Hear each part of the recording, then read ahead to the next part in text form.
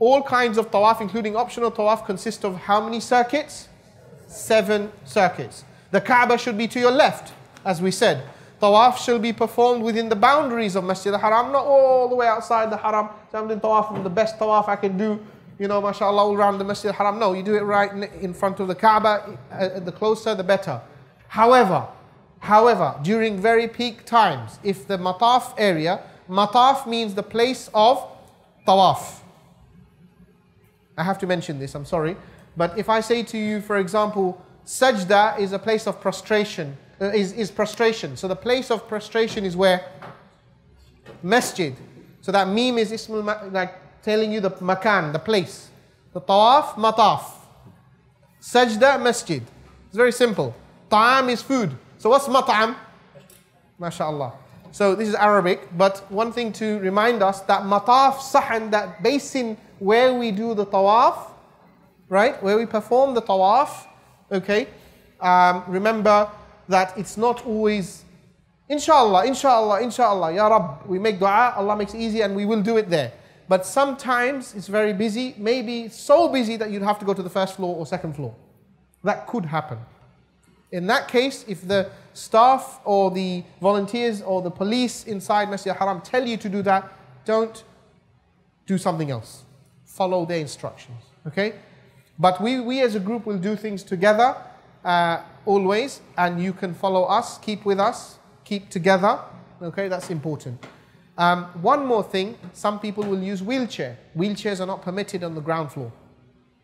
If you're using a wheelchair, you need to use it on the first floor or second floor. I think it's changing all the time, so I think second floor, first floor, but we'll find out when we're there. But I will have dedicated staff members, we always have, and volunteers who will take you to that area where even they have electronic um, for sa'i to go, Safa and Marwa as well, to go round. So I'm not sure if the tawaf one is electronic, but definitely between Safa and Marwa is electronic. It's a long queue, but it's easier to go. So this is very important. You need to be clear from, from your home country, from your residence, how you're going to plan your tawaf. And if you are not able to walk, if you need a wheelchair, you need to plan and prepare from now. Don't wait till Makkah and decide. Try to think now, can I walk? I can assure you, most of you should be, if you can walk from generally, tawaf is easy.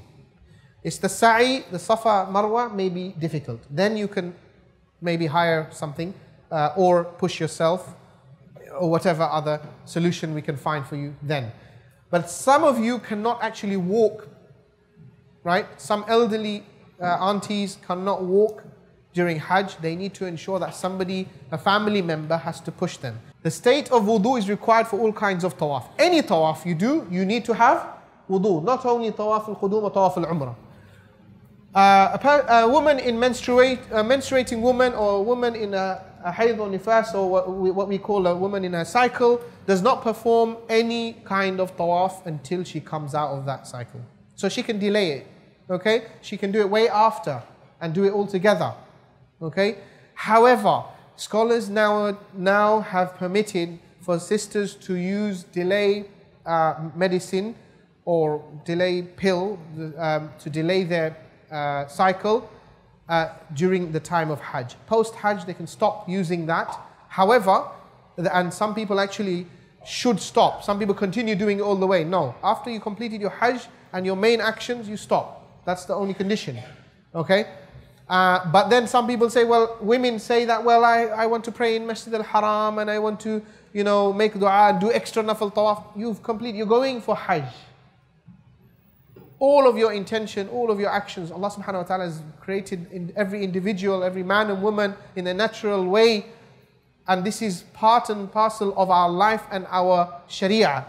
So if it's not fard upon you to pray, you don't pray. If it's not fard upon you to do tawaf, why are you going to make haraj and difficulty and stress about it?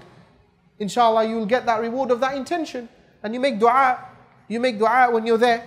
So this is one thing that every year I'm seeing re recurring. So it's something that we need to understand and obviously plan around and be aware of.